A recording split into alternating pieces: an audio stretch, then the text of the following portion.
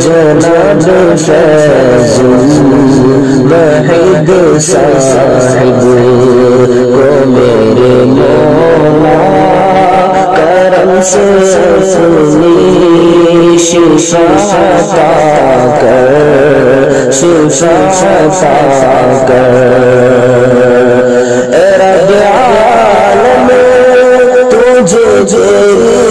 رحم تو کا دے مولا کرم سے سنی شفا عطا کر شفا عطا کر لگی ہے